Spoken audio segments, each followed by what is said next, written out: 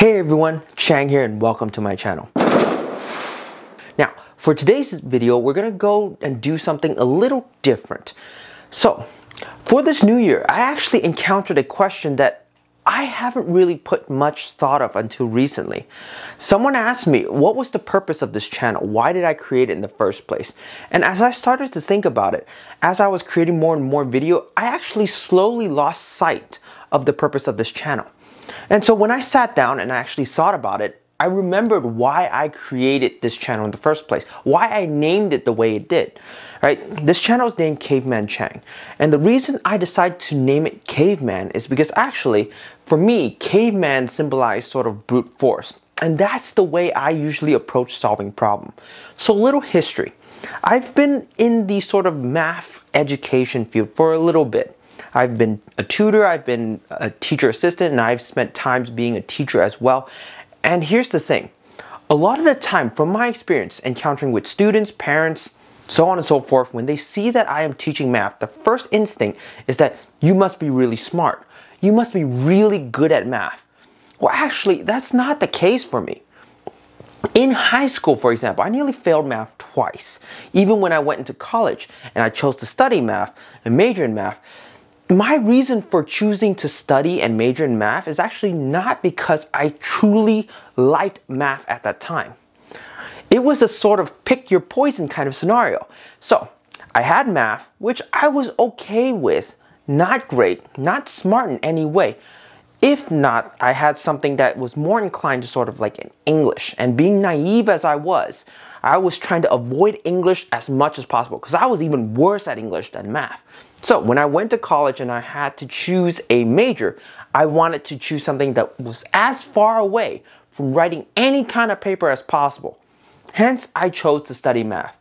Needless to say that for the first semester, I was lucky in that the first semester was basically calculus in which I took in high school, so I was sort of ahead at that point. After the second semester, and at least, you know, for the second year, I suffered through math it was tough. I had the mentality that I had to memorize all these formulas and I was as smart because some of the other students sitting there like knew the formula instantly, knew exactly what to do with it. And I was just really struggling to keep up. And then by the time I hit my third year in college, that's when I encountered a professor and they said something that I really enjoyed, I really liked about it, and I really took it to heart. And that was when you encounter a problem and you don't know what to do, just solve it in the dumbest way possible. Now, dumbest doesn't mean to just write a wrong answer and there you are, you're done. Dumbest is just basically do whatever you think is potentially going to be right, even if it's the long way, even if it's going to take you forever. Because guess what?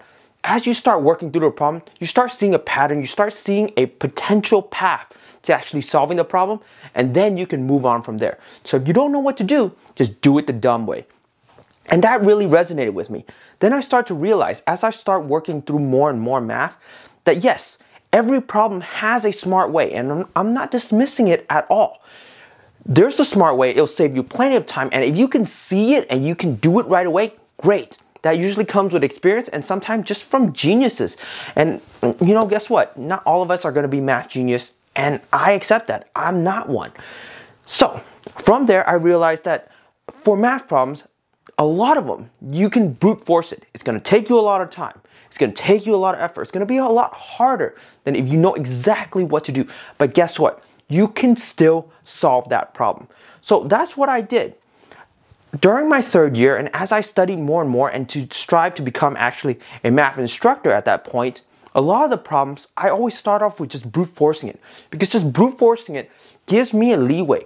I know at least to do something and eventually you sort of see a pattern and then you have a higher chance of solving it.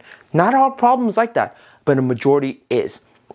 So, this is what I was hoping with this channel is to impart sort of this brute force mentality towards math to make it enjoyable so that we don't see a math problem don't know how to solve it and think, oh my God, I'm not a genius, I'm not smart anyway, and give up right away.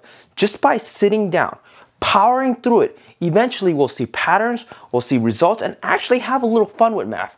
And that's what I was hoping this channel was gonna be like. So, for today's video, I want to talk about this problem. Now, I've talked about this problem before, just for the sheer beauty of how it was solved. This was solved by a person named Gauss. Hopefully I spelled this correctly. Gauss, okay? Or at least it was known that he was the one who figured out a shortcut to solve this. So, the history or the story is that basically Gauss's instructor gave him and every one of the students that he had this particular problem. 1 plus 2 plus 3 plus, you know, so on and so forth, all the way until you add 97, 98, 99, and 100. And you're trying to find the final answer for this. Now, the story goes that, all right, well, once presented with the problem, a majority of his classmates just jumped right in and started adding 1 plus 2 plus 3, and then just, you know, by hand, so on and so forth, all the way into 100. Gauss, on the other hand, found this a magnificent way of reorganizing number. So what he did is that he realized that if he did 1 and 99, that's added to 100. 2 and 98 added to 100, and then found it out uh, easier way to solve this problem. Now, the original message, at least what I got from this story, is that not to work, I guess you say harder, but to work smarter. And that's great. I think that's a good lesson but I don't think that's the best way to go about it or the best way to understand it. The way I saw this problem is that I love the beauty of it. It showed the power of the associative property and the commutative property and how you can reorganize to make your life a lot easier. But keep in mind that Gauss is also a math genius. His name is pretty well known in math history, right? All his classmates are not. And guess what? A good number of us are not math genius who will have our name remembered down in history. And that's fine, right? I don't expect my name to be remembered in any way, shape, or form after this. So we're not all Gauss. We're going to be most likely like his classmate. And so this idea of work smarter, not harder, ends up dismissing all of his classmates. And I don't like that. But guess what? This problem itself, I love that story in that get, even though his classmates are not geniuses, they still had a fighting chance. They still can solve this problem. Yes, it's to be tough. I mean, 1 plus 2 plus 3 plus all the way, that's a lot of work. Not that fun. But if they power through it, brute force it, they will still get the answer. Even though it takes a little longer, even though they're going to be dead tired, it still works. It, get, it is a fighting chance. And that's what I really love about this problem. That's something that I really enjoyed when I really sat down and think about it. So, hopefully with this channel, moving forward, I'm going to show you guys problems and I'm gonna show you guys skills and I'm gonna show you guys quick and easy way to solve it and hopefully help you guys understand it better. But I also want to show you guys what happens when we encounter a problem. We don't know what to do. We're gonna try to brute force it. And when we brute force problem, we're gonna see patterns. And from then on, we can actually quote unquote use smarter ways to solve the problem and hopefully just make our, I guess, experience with math a lot more enjoyable. Thank you for watching me rant in this video. See you in the next one.